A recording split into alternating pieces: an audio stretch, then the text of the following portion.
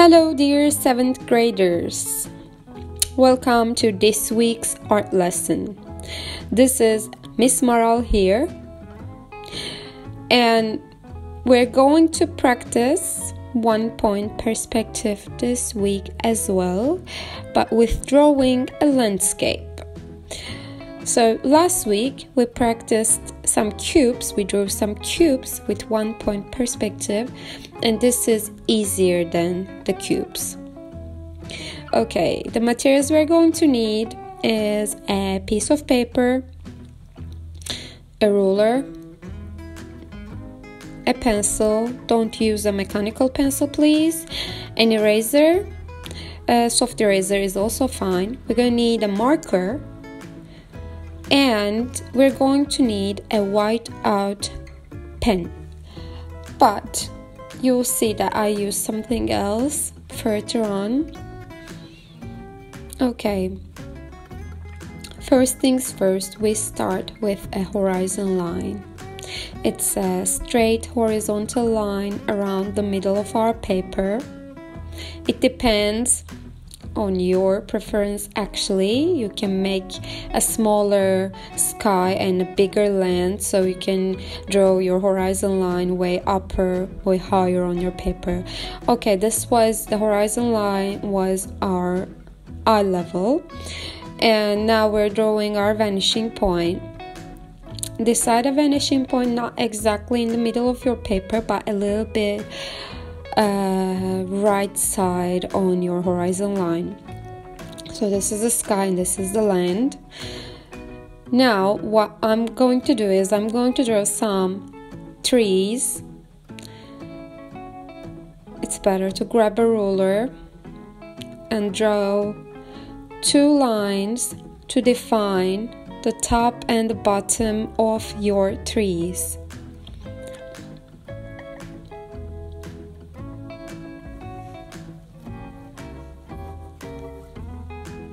And now grab your marker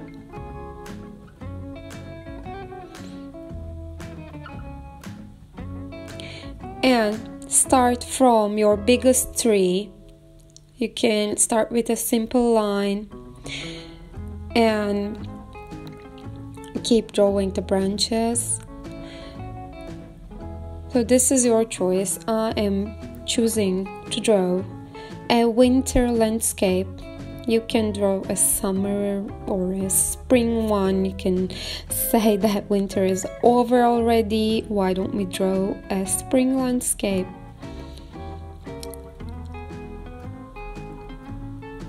But i'm going to show you here a winter landscape. But just use your imagination guys. Do any kind of landscape you want Okay, I'm gonna carry on and keep drawing the trees near going near to the vanishing point every single time. So it means that they're getting smaller and smaller each time.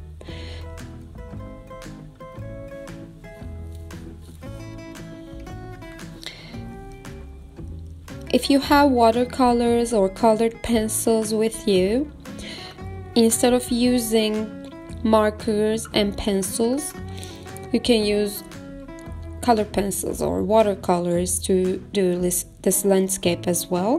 This is just an example for you to understand the idea behind one point perspective but you don't have to do the same. So here i am trying to make my trees smaller and smaller every single time. As you see, I'm drawing the trees between those two lines I drew at the first uh, at the beginning.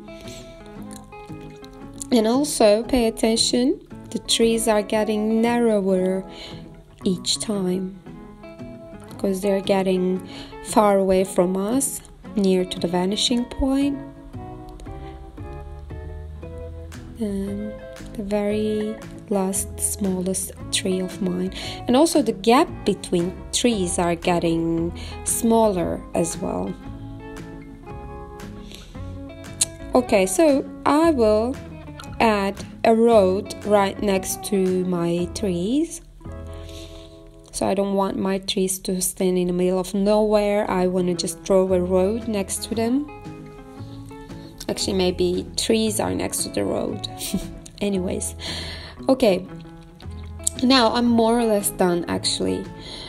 Um, now I'm going to do some shading and um, adding some details so here at this point you can use your soft eraser to softly. Oh, it was not that soft.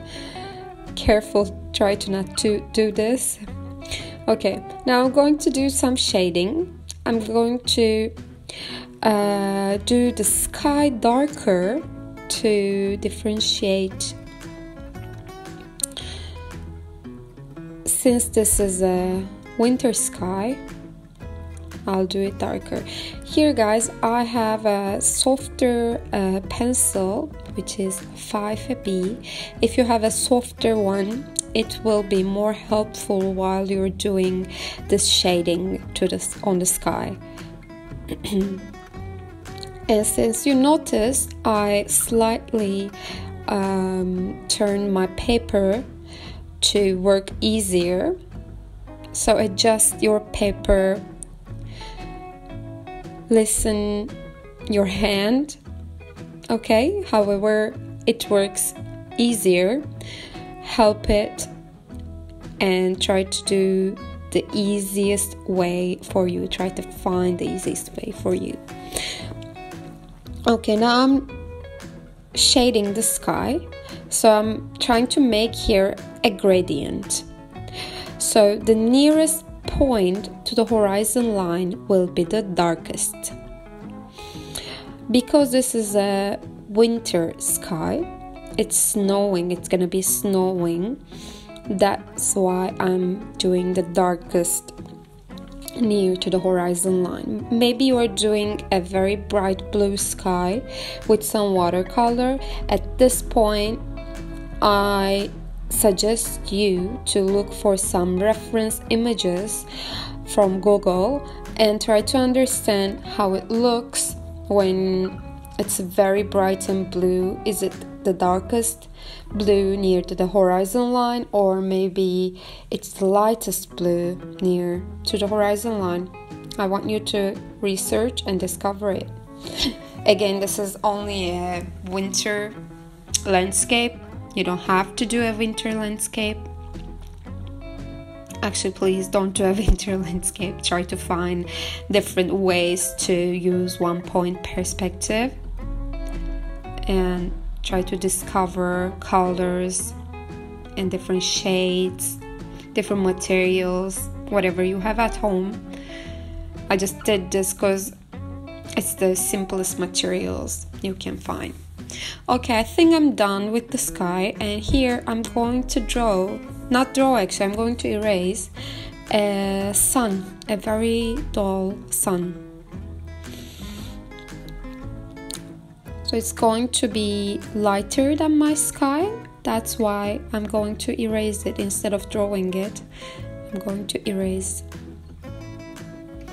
Okay, since I have my light source, now I can do a little bit of shading. I mean the shadows of the trees. So start with the biggest one and considering the angle of the sun try to draw the shadows of these trees while you're doing uh, shading while you're using your pencil be careful and don't use your pencil like you use it while you're writing. This is not writing, this is shading, so you need to hold the pencil far behind. Okay, I'm happy with my shadows. And now I'm going to shade uh, the road a little bit.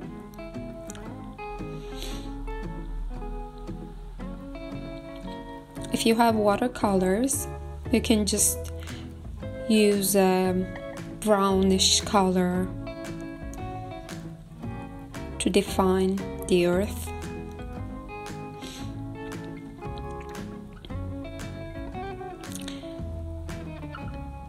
Again, as you see, I'm turning my paper to find an easier angle to shade.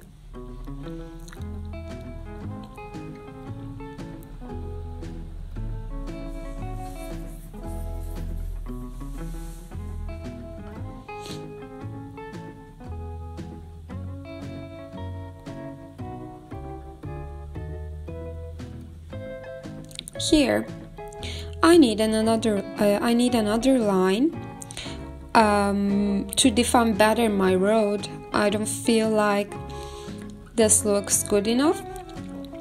I'm going to make my road wider.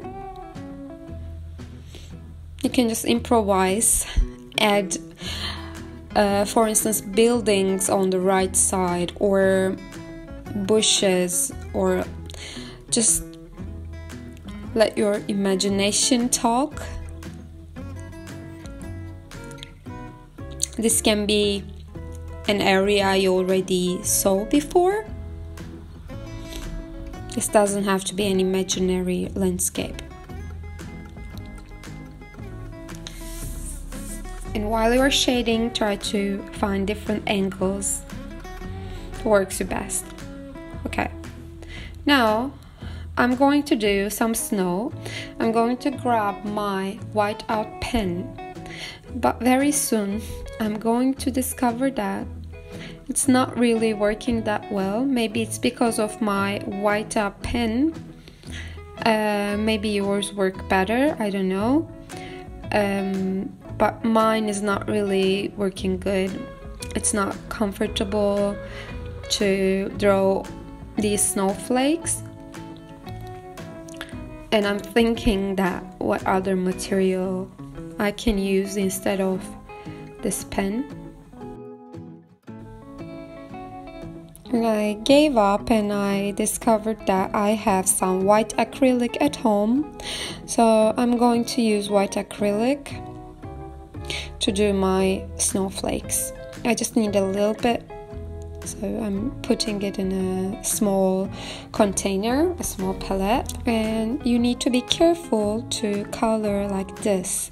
Start from one corner and go from the other corner um, because since this is an uh, wet paint, an acrylic paint, you don't want to mess it around with your hand.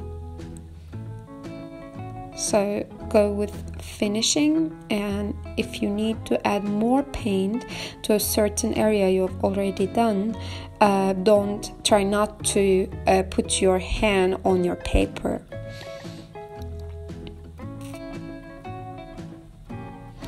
So I'm just going to add some snowflakes here and there.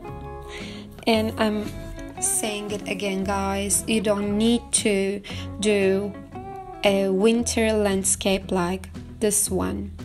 I just want you to use one point perspective to draw a landscape. It can be any season, any kind of trees. You can even draw mountains.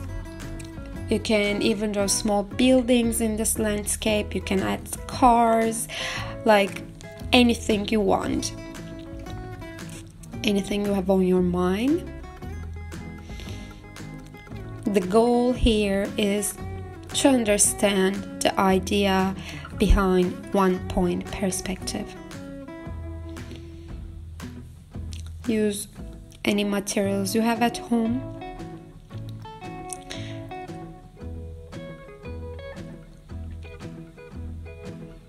I'm just going to add some more snowflakes here and there, even the white areas.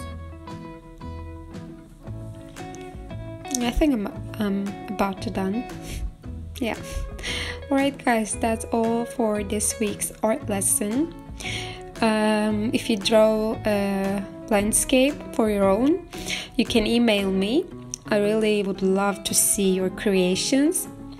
Thanks so much for watching and joining me today, and see you guys next week. Bye, guys.